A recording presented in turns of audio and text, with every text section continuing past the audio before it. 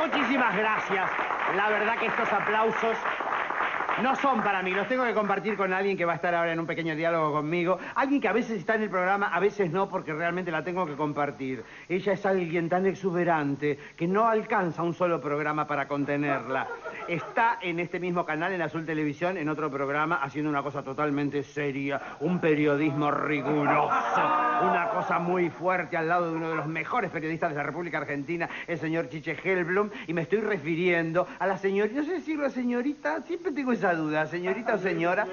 Señorita, creo que no está casada con nadie, aunque ha tenido algunos encuentros eh, sentimentales. Me estoy refiriendo, y preparen las grabadoras, pongan el play record. No, hay mucha gente que, la graba y después viene como...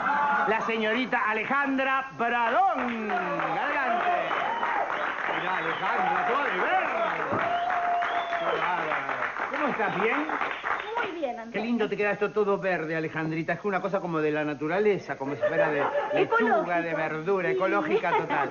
Alejandra, querida, tengo que hablar con vos de dos o tres temas muy importantes. Muy candentes, No, escuchando. primero te quiero decir una cosa que te vi en el programa de Susana Jiménez el otro día en un sketch. Sí. La verdad que te llevaron de sirvienta, de mucama. Ay, Antonio, qué malo, ¿por Pero qué? Entraste no te dejaron dar todas tus condiciones artísticas. ¿viste? No, porque era una peluquería, Sí, era pero la villa. un una papelito de mierda chiquitito que hacía y ya te había Ay, sido. bueno, pero no va, no va todo el mundo a No, hacer un otra vez que vaya, Susana, ¿eh? vos decirle que querés ser no la protagonista, porque la protagonista es ella, pero un poco tener una cosa de interacción. ¿viste? Bueno, pero sí, como. Alejandra Pradón, que se fue a atender. No, le escribieron más a Miguelito Romano que a vos. Alejandra, la Era el día del peluquero. Y bueno. El día de la actriz, de la vedette, de la actriz. Entonces andrá el día de la, el día de la yegua. No, te lo digo, te lo digo con cariño.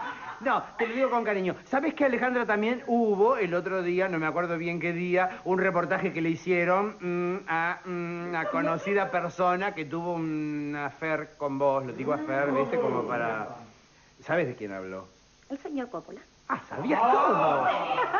Sabías todo. ¿Lo no, no, te ¿Viste el porque Me reportaje? están siguiendo las cámaras y quieren hacerme notas.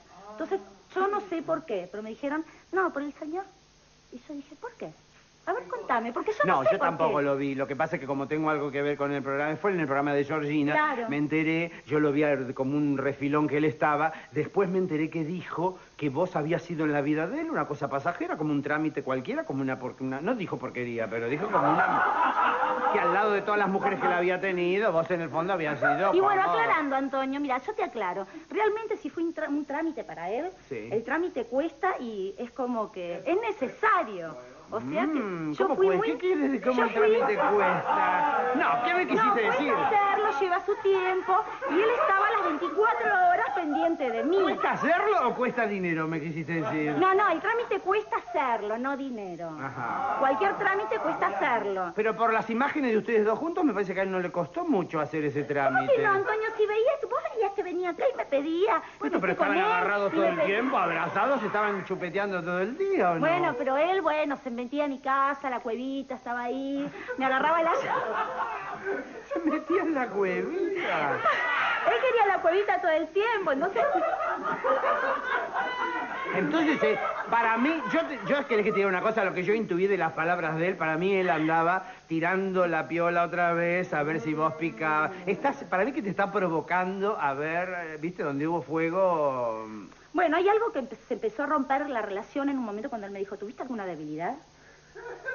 ¿Tuviste alguna debilidad? ¿Tuviste alguna debilidad es infidelidad. Ah, él lo decía, infidelidad. claro. Él lo decía de esa ¿Y manera. por qué te preguntó eso? ¿Él que pensaba que vos habías tenido alguna cosa con alguien? Claro. ¿Cómo puede pensar una cosa así? No, sí, ¿te acuerdas cuando yo desaparecí? Me acuerdo. ¿Tú te acuerdas? ¿Te acuerdas? ¿Sabes con quién había desaparecido? ¿Con quién Me tú- habla en latinoamericano, eso me desespera. ¿Tú te acuerdas?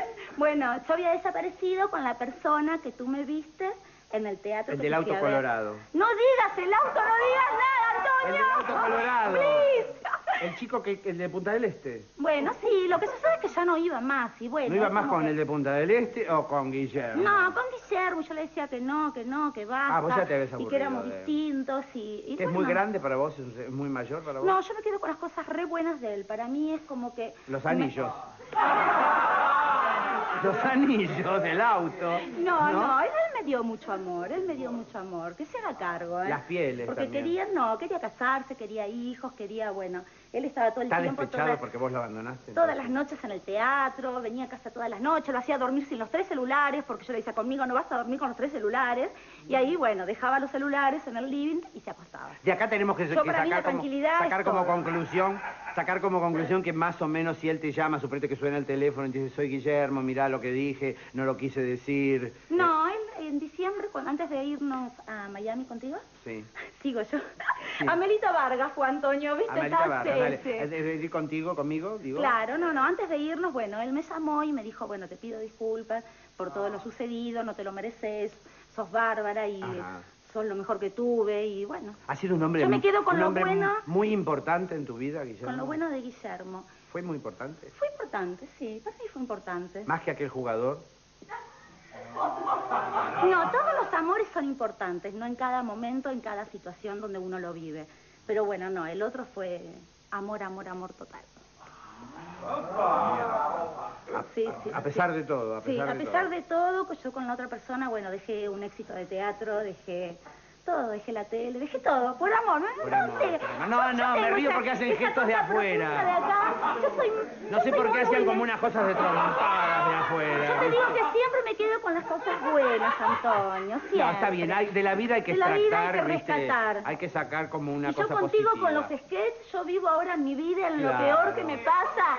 Yo hago un sketch de mi vida y me río y nos reímos Nosotros con me tengo que, tengo que hacer un pequeño, que desgraciadamente. Pero no, no me, me- yo, eh, tenés que darme una, una vueltita porque hay mucha gente que me manda.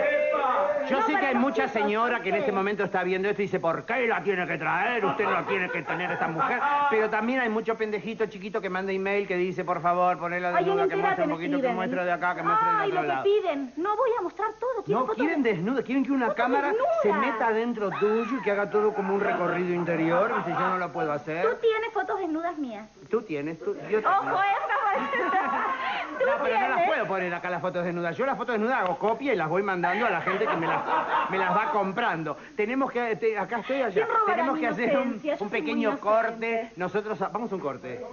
Vamos a un corte y cuando volvamos vamos a estar con la vieja que está en el palier de la casa y tiene una aventura con un chico que viene hoy. Pero nosotros nos despedimos con Alejandra Pradón y un fuerte aplauso y que te, vaya, te siga yendo tan bien en tu nueva tarea de periodista. Fuerte el aplauso, señoras y señores. Hacemos un corte y volvemos inmediatamente. Muchísimas